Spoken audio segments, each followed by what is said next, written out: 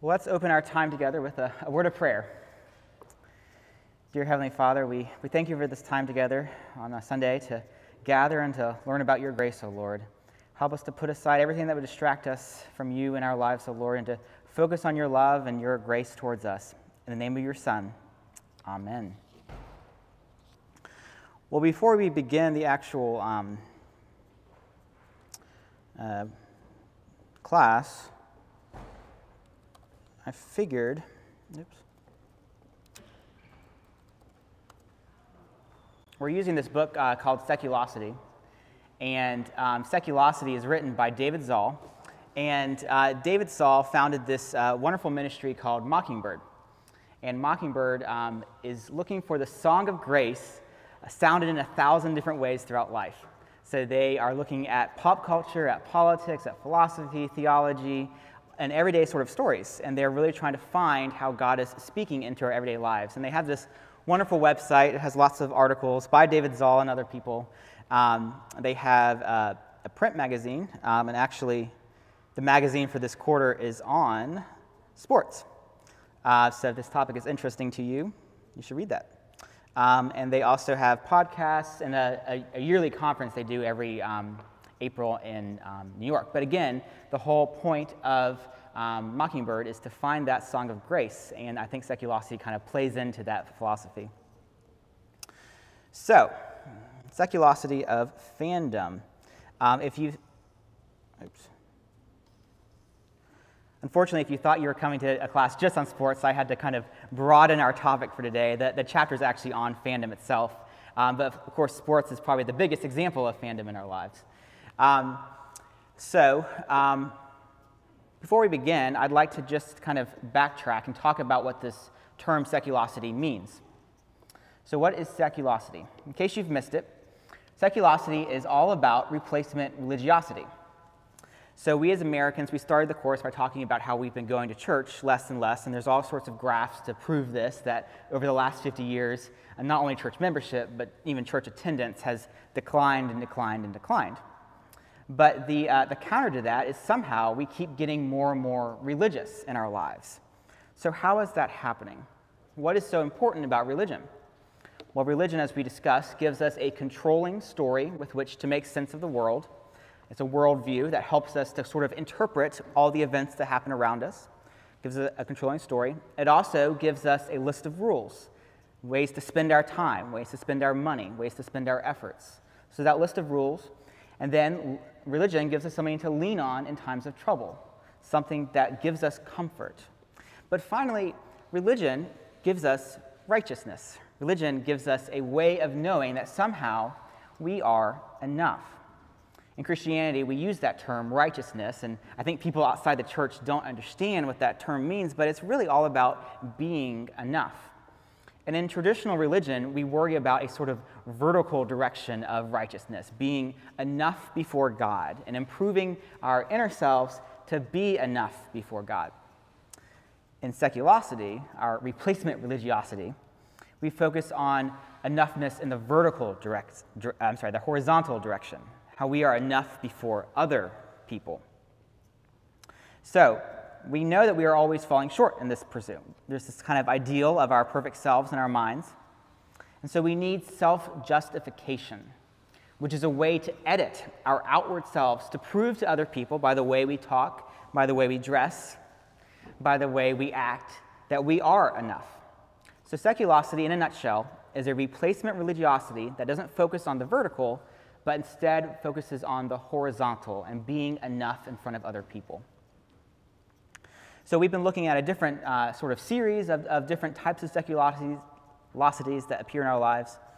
But today we are focusing on the seculosity of fandom and sports. And so we, before we begin, I wonder if you might take a few moments and just jot down on your sheet the answer to these questions. Name one thing you are a big fan of, and how did you become a fan? Have you ever judged another person based on what they're a fan of? Have you been judged? And finally, Name one famous celebrity or athlete who has been thrown into secular hell.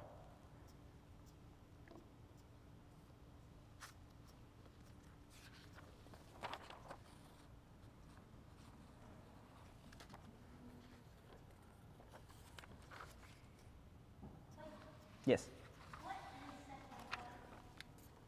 We'll find out about that, but who, who has been uh, knocked off their pedestal?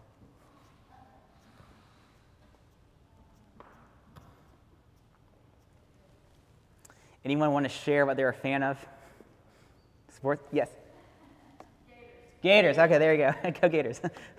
Except I, I'm actually a Seminole fan, but that's okay. Do you have anything, Ann?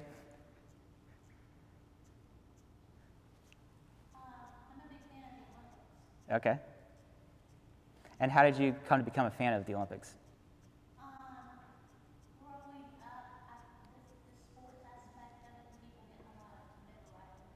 Mm-hmm. And it comes only once in four years, right? So, do you have anything? College football. College football. There you go. Are you a Gators fan? Okay. How about you? NBA. Okay, there you go. The whole- Okay. Do y'all have a favorite team?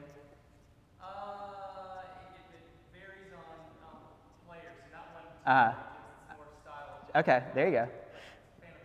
Uh, I'm not an NBA fan, but I've heard they created that really impressive bubble that, that, that kept everyone safe, and it was very extreme. Like they had to.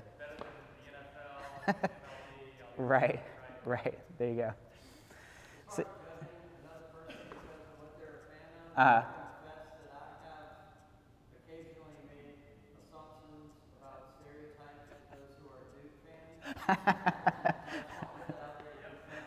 another For those of you watching, Tom just said that he is a judge of uh, Duke fans. So, being from North Carolina, I guess that's a, a thing. Well, what is a fan, anyways? Um, the word actually has a fascinating history that I didn't even know before reading the book. Um, fan is short for fanatic, and fanatic comes from the Latin word fanaticus. And a fanaticus is a worshiper in a temple, uh, in a Roman or Greek, a, a pagan temple. Someone who would go to the Roman temple, offer sacrifices, make sure that the temple kind of mechanics sm- uh, flowed smoothly. So to be a fanatic is to be a temple worshiper. The term came into the English language in the early 1900s with the advent of baseball. Uh, the owner of the St. Louis Stockings uh, decided that he wanted uh, to maximize the people coming to his stadium, so he did the thing that would probably do this the best. He offered 25 cent beer. and people flocked to come watch his uh, baseball team and to drink the, the cheap beer. And he called these people coming into his stadium fans. That's where the, that's where the term comes from, from baseball. But of course, from baseball, fandom has grown and grown and grown. Does anyone know? I've kind of got it on here, but does anyone know the biggest college football stadium? Michigan. Do you know how many it seats? Yeah, they've. I think it's officially it's like 105,000, but they've managed to get 115,000 people packed in that stadium before. So that's kind of crazy. Um, I, I, think that's the biggest stadium in America, but the NFL also has really impressive stadiums. AT&T Stadium is the current biggest NFL stadium. Um, it uh, houses 80,000 fans. I think they built a bigger one just recently in Los Angeles, but they haven't actually had people in it yet. Um, it's a really cool stadium, though. And then, um, of course, fandom is not just an American thing. Uh, that is Wimbledon Stadium uh, in London, which uh, houses 90,000 fans. And I believe Shad Khan, the owner of the Jaguars, owns that stadium as well. But, anyways, fandom, though, is not just a thing for sports. Um, the music in- industry has a lot of fans that have grown and grown over the years. Um, there are all sorts of music festivals. Of course, the most famous one in American pop culture history is Woodstock, three days of peace, love, and music, uh, which attracted over 400,000 people to one field, which is just kind of crazy. Um, of course, fandom also spreads to the science fiction world. Um, every year uh, at Comic Con, lots of science fiction fans dressed as their favorite superhero or whatever gather in San Diego and have a big time. And then now, even uh, the world of video games has a huge fan following. And these fans actually come together for esports, where people sit in a stadium like that and they watch other people play video games, which is kind of crazy. Uh, this all kind of makes us nauseous, though, in 2020, seeing all these people together. Um, so, luckily enough for us, fandom is now a virtual thing as well. Pick any topic, any obscure topic that you're a fan of, and I guarantee you that there is an internet forum somewhere with lots of other fans. And to prove this, I typed into Reddit, which is one of these uh, fan websites, I typed in organ music because that's what I'm a fan of. And sure enough, there was a page, and that page has 3,000 other people on it. 3,000 people for me to be friends with, right? Um, this was taken to maybe an extreme, though, this past March. Um, are y'all familiar with the game Fortnite, the, the video game? The, it's, it's popular with young kids now. Um, it's, a, it's a kind of a live action video game. And in the middle of the lockdowns back in March, uh, Travis Scott, who is a um, popular rapper right now, he hosted a concert within the video game in virtual time only that attracted 12 million people. 12 million people showed up to watch Travis Scott within a video game, which is kind of crazy. Um, so, as by now it's probably becoming clear, uh, our fandom is quite religious. We, have, uh, we turn out by the thousands, we turn out by the millions to see celebrities play sports or to perform. And we gladly hand over our money or our time for it. We have a deep love and an admiration for these celebrities. Modern day fanatics are not found in Roman temples, they're found in stadiums, they're found in video games, they're found in internet forums. So, why is it that we pack out stadiums? What does fandom do for us? Why do we turn out in droves for concerts and now tune in by the million to see the celebrities perform in the virtual world? What is it that drives fandom? Well, here is what uh, essayist Michael Schulman, uh, who visited San Diego Comic Con, wrote in The New Yorker. He says that one woman dressed as Thanos, the Marvel supervillain, told me that she got into comics after her parents died, since fantasy heroes are often orphans. An IBM art director said that she became a Lost, which is a, a TV show, superfan after falling out of touch with college friends. At Comic Con, she met people who have become part of my family. Michael Asuncion, an aspiring psychotherapist, told me, gesturing to the crowds, there are three needs that all humans have they need to be seen, they need to be heard, and they need to be valued. The fact that he was dressed as SpongeBob SquarePants did not dilute the truth of this. So, being a fan gives us an automatic built in community of other people to connect with. And this sort of replaces what people miss from coming to church. So, from superheroes to your favorite losing sports team, such as the Jaguars, or your, your favorite obscure uh, band, there is bound to be at least one or two or three other people out there who are also fans of that thing, and that is an automatic built in community of people to connect with. What drives fandom? Well, identification is another reason that drives fandom. Um, we not only admire and love our celebrities, we come to identify with their very lives.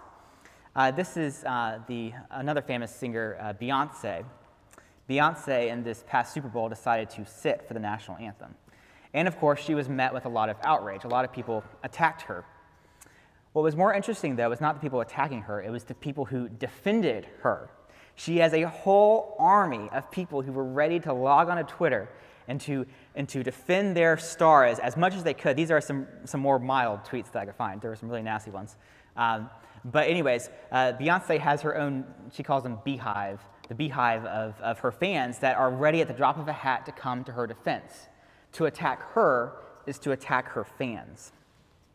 So there's that process of identification going on. What drives fandom? Well, redemption is another reason. When your team wins, you win. Uh, you have no further to look than a college football town after a big, after a big win. Um, there are some pretty funny photos of um, toilet paper being hung from the trees, and the whole atmosphere is electric. Of course, I went to Sewanee, so this never happened to us.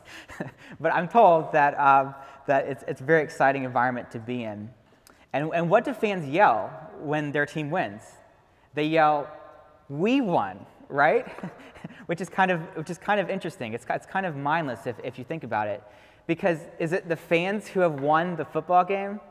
No, it's, it's the team itself, but somehow the athletes are acting as a sort of high priest for the fans. They are winning on behalf of their fan base. Their win has somehow been transferred to the fans, and fans feel a sort of redemptive power. The team wins and they win. So, what drives fandom? Well, identification works in the opposite direction as well. Not only do we celebrate with our, our celebrities as they win, we also turn them into scapegoats. Our heroes, unfortunately, mess up. They get it wrong sometimes. And woe to the celebrity who betrays their fan base. There are many, many examples. The one I thought of was J.K. Rowling, who I don't think uh, it's an exaggeration to call her one of the most successful authors of all time. Her uh, Harry Potter franchise, the Harry Potter books being about the, the young wizard who goes off to wizarding school, uh, they have grossed about $25 billion from the movies, the books, the franchises, the theme parks. It's a, a big, big uh, franchise. Well, J.K. Rowling this past summer uh, made some kind of off color remarks on Twitter about transsexuality. And her former fans, who were avid fans, viciously and mercilessly and at the drop of a hat were willing to attack the person who they worshiped. They turned on her real quick. Um, does anyone else have a, have a name of a celebrity that kind of has fallen from grace on their sheets? Any good ones? Who? I don't know. Pete Rose, whoever that is. okay. Yeah. Right. Any other good ones?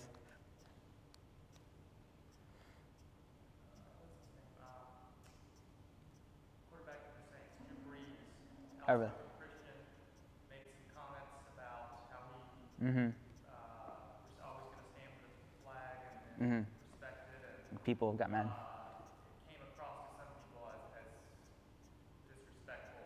Right. Right. Right. So for those of you listening, um, he said uh, Drew Brees, who has been attacked for his Christian faith and being outspoken about it. Um, so yeah, so the list goes on and on, really, um, and it's become so frequent now that there's actually a term for it: canceling.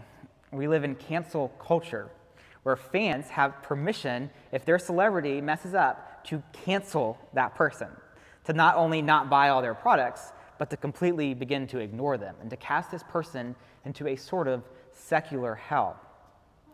So, even though we're not religious anymore in the sense that we come to church, we are religious in the sense that we still believe in a judge. And that judge is not God, that judge is us. And we believe that we have the ability to turn on someone and to cast them out. So, what is going on here? How is it that celebrities and sports stars and musicians, actors, and even Spider Man himself can attract such an enormous following and then be dumped, condemned at the drop of a hat? Why does our replacement religiosity express itself in this way? Well, the philosopher Rene Girard has an interesting, uh, interesting theory. Uh, this uh, is pointed out in the book by David Zahl. It's called the mimetic theory. The theory goes like this We as humans have a ability to imitate each other, and we particularly imitate each other with each other's desires. So imagine this throw two kids in a room filled with toys. What do both those kids go after? The same toy, right? They don't care about the other toys. Somehow, one seeing and wanting one toy wants the other one to also see and want that same toy. And that sort of uh, ability to mimic each other's desires plays out in all sorts of areas in our life. Um, so, what one wants, the other has to have too. If we desire the same thing, of course, a rivalry, a natural rivalry emerges between us. And if this rivalry is allowed to grow and grow and grow, conflict happens. And how do we as humans deal with conflict? Well, we use a scapegoat. We find someone else to cast our anger, our frustration, our blame, our judgment onto. And the more different from us that that scapegoat is, the more effective that scapegoat can become. We can't just sit with our anger, our judgment, our powerlessness. We have to throw it somewhere. We have to cast it onto someone. So here's what Rene Girard writes He says, Everywhere and always, when human beings either cannot or dare not take their anger out on the thing that has caused it, they unconsciously search for substitutes. And more often than not, they find them. According to Zahl, celebrities make such great scapegoats precisely because they're so different from us. Because we build them up, we put them on a pedestal, it's easy for us to tear them down, to knock them down. Celebrities, in the words of Zahl, bear not just the, word, the burden of our hopes, but our fears as well. Because we often feel powerless in this world of ours. We, like the chaos around us is just consuming us. And this creates rage within us, and we need a scapegoat. We need a victim. In fact, we need many, many victims if the number of canceled celebrities shows us anything. The list ranges from Drew Brees to J.K. Rowling to Ellen DeGeneres to Harvey Weinstein to Aziz Ansari to Tiger Woods. Some of these people have really done awful, awful things. But the rage that they have experienced from their former fans points to the reality of this particular seculosity. We have a need for community, which a fan base fulfills. We have a need for redemption, which also being a fan can fulfill. We also have a dark, dark need for a victim. And the seculosity of fandom gives us many, many victims to tear down. What if the fanatics have it all wrong, though? What if the community they are seeking is not built around a shared team or a shared hobby, but a shared person? And what if this person, unlike a celebrity that they built around their community, is more than just a celebrity, but the perfect fulfillment of all hopes and desires? What if this person didn't just provide a few fleeting victories, but accomplished the one victory over sin and death for all time? You, of course, see where I'm going with this. Christianity does indeed claim to give us a community centered around Christ himself, and Christianity claims that he has, claimed, he has uh, won the one victory that matters. But have you ever thought about our need for victims that we as a human have? If the seculosity of fandom shows us one thing, it is that we certainly do have a need for a scapegoat. The other being to cast on our anxieties, our fears, our powerless onto. We need to cancel as many celebrities as possible because, well, our fears, our anxieties, our powerlessness, they won't go away. Christianity also has a victim, but it has just one victim. And what good news that is for us. The New Testament tells us that Jesus Christ, the Son of God, is the one and only victim needed to deal with the sins of the world. We don't need a long, long list of people, of other imperfect celebrities. We just need the perfect one. And what is more, in the words of Zahl, God actively identifies with this scapegoat, with this victim who died for our sins. The innocent Jesus is like a lightning rod that all our human sin is attracted to. And by siding with this victim, scapegoating itself loses its power. We don't need a J.K. Rowling, we don't need a uh, Tiger Woods or a Harvey Weinstein to carry our sins. Jesus, we believe, has done that for us. The news gets even better for us, though, according to the gospel. Imputation is another one of those church words that people, I think, their eyes kind of glaze over when they hear that word. But just like righteousness is simply enoughness and self justification is simply personality editing, imputation is a word that really uh, pops up in our lives over and over again. Imputation is the same thing that happens when a sports team wins a game and the fans of that team feel that victory. That victory has been imputed onto them, even though they did nothing to earn that win. Unlike a sports victory, though, which eventually fades, the imputation that Christianity talks about lasts forever. The New Testament teaches us that our sins, our fears, our anxieties, our powerlessness have all been transferred to Jesus Christ. And in return, his perfection, his innocence, his righteousness, his enoughness, even his glory has been imputed onto us a wonderful verse from 2 Corinthians. For our sake, God made him to be sin who knew no sin, so that in him we might become the righteousness of God. So, in preparing this class on Friday, I figured out, remembered, that today is All Saints' Day, and that, that's actually quite appropriate for us. Um, the New Testament gives us a visual of what this imputation actually looks like. And I think it's a really cool one, and we just read it in church. so I'm going to read that if I can find it. So I want to know what imputation looks like. Well, here in Revelation, we read about it. After this, I looked, and behold, a great multitude that no one could number, from every nation, from all tribes and peoples and languages, standing before the throne and before the Lamb, clothed in white robes, with palm branches in their hands, and crying with a loud voice Salvation belongs to our God, who sits on the throne, and to the Lamb. And all the angels were standing around the throne, and around the elders and the four living creatures. And they fell on their faces before the throne and worshiped God, saying, Amen.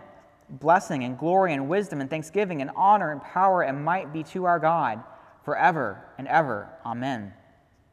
Then one of the elders addressed me, saying, Who are these, clothed in white robes, and from where have they come? I said to him, Sir, you know.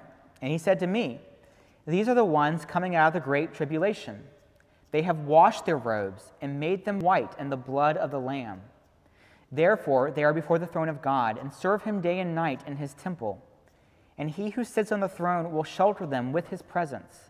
They shall hunger no more, and neither thirst any more. The sun shall not strike them, nor any scorching heat. The Lamb in the midst of the throne will be their shepherd, and he will guide them to springs of living water, and God will wipe away every tear from their eyes. So, one of the really interesting things that we find in the book of Revelation is that it's all about the New Jerusalem coming to earth, right? What's the one, the, the, the, biggest difference between the New Jerusalem and the Old Jerusalem? There's no temple in the New Jerusalem. God's presence is the temple. The temple in ancient Jerusalem was just like those ancient Greek and Roman temples, had its own kind of array of priests, Levites, people doing the religious work, the sacrifices, the fanatics. There were fanatici in the ancient Jewish temple. In the New Jerusalem, there is no temple. We're all in the temple. We're all worshiping God just automatically. There's no need for fanatics. These are the ones coming out of the great tribulation. They have washed their robes and made them white in the blood of the Lamb. We may think that we need celebrities who can be saint like, and when they're not, we can tear them down and have them be our victims. But the revelation to John reveals to us that the real saints are the ones who have washed themselves in the blood of the Lamb. That's you and that's me. Christians might be an imperfect community of fans on earth. We simply we, you know, do do things that are not up to the ideal that Jesus sets for us. We cast people out, we judge others. Unfortunately, that happens.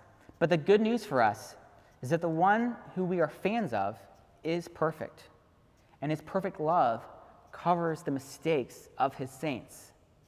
The object of our fandom is really worth cheering for.